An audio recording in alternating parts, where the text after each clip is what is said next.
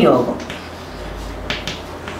அஷ்ட லக்ஷ்மி யோகம் அஷ்டலக்ஷ்மினாவே பார்த்தீங்கன்னா தெய்வ கடாட்சம் தான் சரிங்களா ஓகே ராகு பகவான் ராகு பகவான் ஆறில் இருந்து இந்த ராகுக்கு ராகு பகவான் ஆறில் இருந்து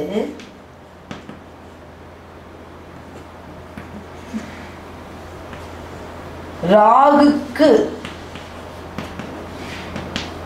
கேந்திரத்தில் குரு இருந்தால் ராகு ஆறில் இருந்து இந்த ராகு பகவானுக்கு கேந்திரத்தில் கேந்திரத்தில் குரு இருந்தால்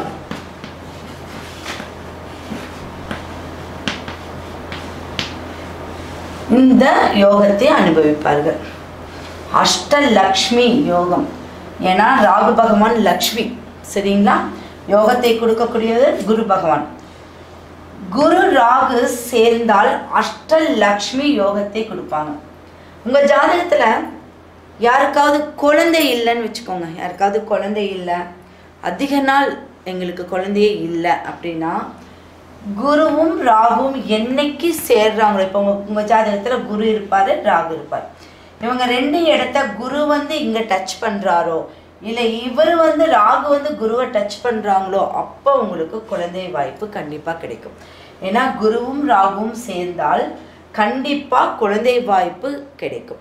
இப்போ கல்யாணம் ஆகிட்டு வராங்க. இப்போ நம்ம கிட்ட வந்து ஒரு பிரசனம் பார்க்க வராங்க. ஒரு புது தம்பதியினர் அப்படின்னு வச்சுக்கோங்க. அப்போது கோச்சார ரீதியாக பார்த்தீங்கன்னா ராகுவே அது தொடும்போதோ இல்லை ஏதாவது ஒரு கிரக இணைவுகள் இவங்க ரெண்டு பேர் சேர்ந்தாவோ நீங்கள் தாராளமாக ஒரு குழந்தையை பற்றி தான் கேட்க வராங்க நீங்க த டக்குன்னு சொல்லலாம். சரிங்களா? அப்போ இவங்க ரெண்டு பேர் சேரும்போது அஷ்டலக்ஷ்மி லக்ஷ்மி கடாட்சம் உண்டாகும். அப்போ இவங்களுக்கு இந்த அமைப்புல என்ன கிழமை ஏராளமான பணம் செல்வாக்கு பெருகும் இவங்களுக்கு வந்து பணம் செல்வாக்கு பெருகும்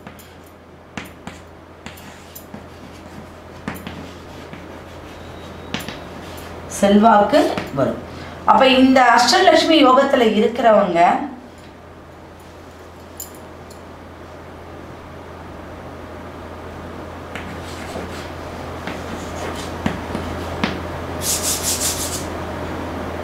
சப்த கண்ணீர்கள்.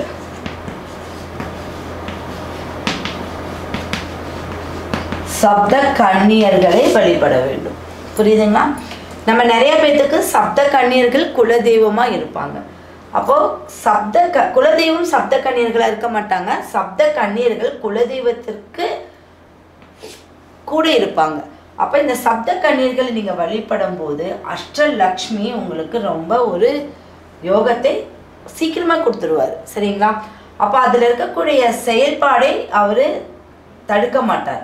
அப்போ இந்த சப்த கண்ணீர்களுக்கு நம்ம என்ன செய்யணும்? இந்த இந்த யோகத்தில் இருக்கிறவங்க மட்டும் என்ன செய்யணும் அப்படின்னா ஆறு ராகு ராகு ஆறில் இருந்து தான் ஆறு வந்து குரு கேந்திரத்தில் இருக்கிறோம் ஆறுக்கு குரு கேந்திரம். அப்போ இவங்க என்ன? குழந்தை. ஏழு குழந்தைகளுக்கு ஏழு குல குழந்தைகள். வயசுக்கு வராத குழந்தை. குழந்தைகளுக்கு அன்னதானம் அடிக்கடி செய்ய வேண்டும். அவங்களுக்கு தேவையான பொருட்கள் நோட் புக்குகள் இந்த மாதிரி ஏதாவது நீங்கள் பண்ணிக்கிட்டே இருக்கணும். ஏழு குழந்தைகளுக்கு அடிக்கடி பண்ணணும். செய்யணும். புரிஞ்சுதுங்களா?